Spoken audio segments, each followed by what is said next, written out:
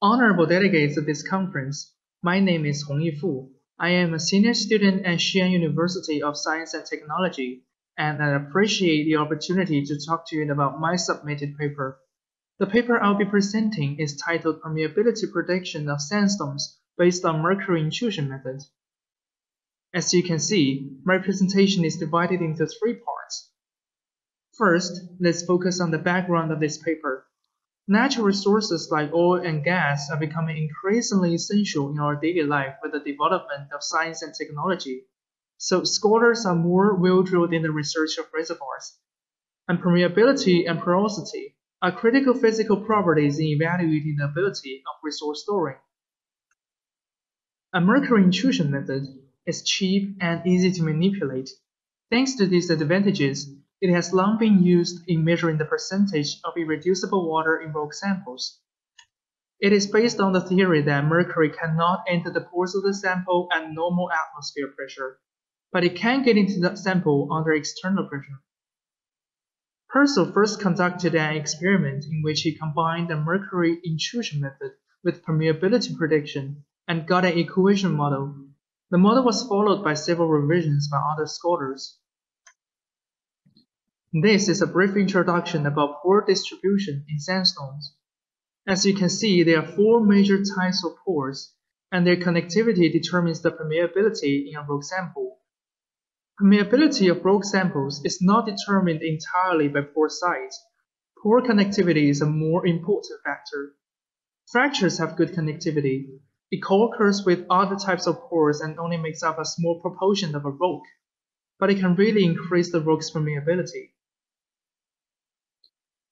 The air permeability method is another effective method that is widely used by earlier scholars. In this method, the terminology air refers to nitrogen. It may call into question that why the liquid like water is not included in the permeability measurement. It is because the uh, physical and chemical reaction that are likely to happen during the experiment. As we can see, these two figures shown on the slides demonstrate the fluid of gas is more even than that of liquid when entering the rock samples. As a result, the permeability measured using gas is bigger than using liquid. The movement shown in the figure is related to Klinkenberg's slip theory. The air permeability method contains two branches. Sorry, the air permeability method contains two branches. They are steady-state method and non-steady-state method. And the steady one requires a relatively long period of time and precise controlling of temperature, while the latter one contains the process of pressing the rock to change their original form. Both are drawbacks of this method, but the air permeability method is still worth examining, and the development is still emerging. This is the apparatus that is used by Purcell when he conducted the experiment. I made a few changes to demonstrate it more clearly. As you can see on the slides, the apparatus contains four main parts. A is a mercury displacement pump. B is the sample holder part. The sample is held in chamber E. There are two lucid windows at the top and at the bottom of the sample holder. During the experiment, we can read the data on the reference mark F through the windows. C is a manifold system and equipment D helps to measure the volume of mercury. As you can see, the function of G is connecting different parts of the apparatus. There are many revisions on the apparatus and on the process of the experiment. The effectiveness of this method depends on the properties of the rock samples. For example, it is concluded that the result is more valid in rock containing large and medium pores. Now I'm going to show you four models I delineated in my paper. The first one is Purcell's model. Apart from the achievement that I mentioned earlier, his research fills the gap of the permeability measurement in small and irregular samples like drilling cuttings. And his experiment only took hours, which is fast given the earlier trials took days to finish.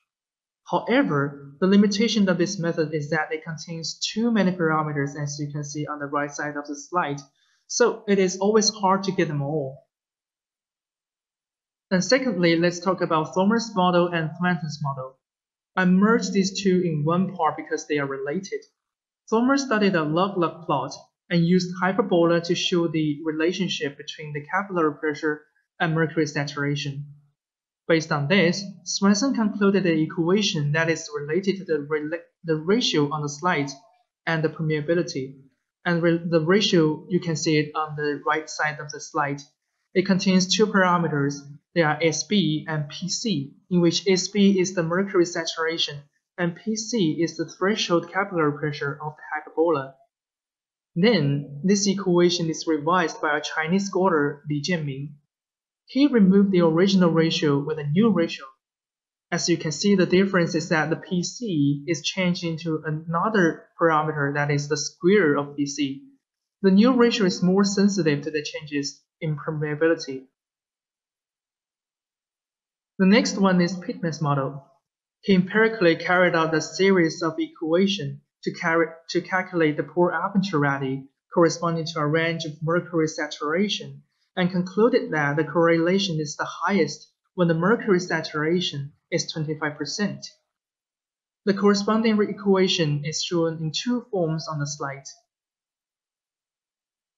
Razi correlated the mercury intrusion method with NMR data, also known as nuclear magnetic resonance data, and added a mathematical model between porosity and pore radius in tight sandstone reservoirs in his model, the best correlation is when the mercury saturation reaches 10%. However, this saturation can be different because the pore structure is complex in rock samples, so that explains the different best saturation between Pittman's model and Razi's model. Here comes comparison of the four models. As discussed earlier in this presentation, the mercury intrusion method is used in a limited range of rocks, and most of them are conventional clastic rocks. But when it comes to tight rocks, the performance is not that good. This is the same in carbonate formation, as its pore structure is more complex. Nording used the carbonate samples and high-pressure mercury intrusion to evaluate the performance of the models. The result is that Swanson's model behaved the best, and then followed by Thomeer's model and then Pittman's model. And all the three models are accepted by Nording.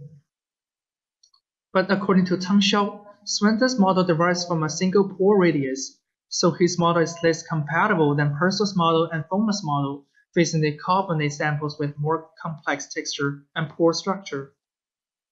A similar result is also concluded in Rash's model research, in which he compared 16 different models in total and the, the, result is that and the result is that Pittman's model performed the best, while Swanson's model shows the least accuracy among the four models in limestone reservoir. So the conclusion of my paper is that by measuring the pore distribution and predicting the permeability, mercury intrusion method could be applied in reservoir evaluation and irreducible water determination. And although all of the four models related to it were calculated by painstaking research, it is Purcell's model that is applied the earliest, and also is considered as a prototype in this study field. Swanson compensates for the method of Thomeer's, but his model may need further revisions to be more accurate. Moreover, it is Thomeer's model and Pittman's models that are accepted by all the three scholars mentioned in my paper. By making this presentation, I want to express that Many researchers are well drilled into this field of study, so more precise models are still emerging, and some former models may need to be revised for better accuracy. Although some of the models are claimed to perform badly by some scientists, the researchers took pains to conclude them, and these are irreplaceable and significant achievements that are largely based on by scholars today when concluding their results. So it is a must for us to show our respect to those former achievements, but dare to raise questions, revise, and innovate. And this is my presentation. It is my great honor to speak to you, and thanks again for listening.